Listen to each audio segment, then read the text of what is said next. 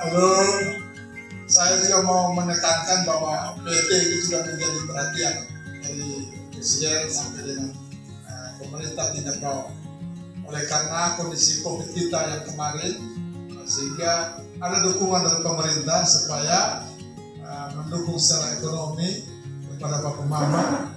Oleh karena itu diminta memanfaatkannya dengan secara baik-baik. Ya sampai ada yang tadi malam sudah pergi di toko HP ini. Terima tiga bulan ini bahaya. Ya.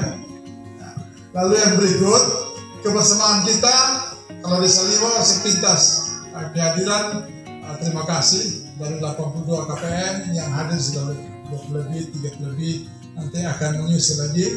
Uh, tetapi yang saya minta uh, sebagai keluarga besar Desa Liwo agar kita mempertahankan kebersamaan ini, kekeluargaan ini dan saya minta juga dalam setiap penyelesaian permasalahan yang ada di Desa Liwo harus dilakukan uh, dengan diskusi dan kita pecahkan masalah itu bersama-sama.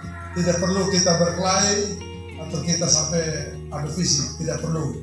Sekarang zamannya kita bertengkar boleh, kita adu ide boleh, tapi kita kerja sama-sama. Jangan sampai ide sudah kalah kalau tidak mau kerja untuk desa. Ya. Lalu yang berikut dalam kehidupan pemerintahan uh, pembangunan dan kemasyarakatan di tingkat desa. Jadi bapak desa yang dituakan ini uh, hari ini gagal baju begini kan bupati datang semangat. Ada di tempat lain datang pakai baju biasa. Pikir, pengalaman. Jadi begitu. Jadi kebersamaan dalam pemerintahan desa itu harus dilakukan. Sebentar lagi saya tuntut untuk kita adanya peta wilayah administrasi pemerintahan. Jadi ini diminta diskusi yang baik, diwujudkan peta yang baik, tidak perlu uh, kita apa saling mempertahankan. Karena garis pemerintahan itu tidak memutuskan hubungan keluarga kita dengan keluarga sebelah ataupun hubungan kita dengan uh, rumah adat sosial budaya. Jadi mohon dukungan kepada semua orang tua, bapak mama semua, adik-adik semua. Nah, kita sudah dalam satu keluarga besar Flores Timur, khususnya Desa Lio.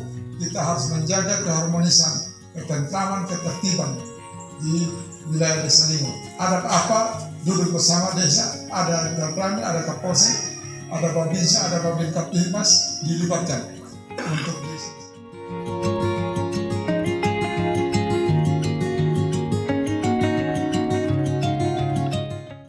Terima kasih sudah nonton. Jangan lupa like, subscribe, dan share ya.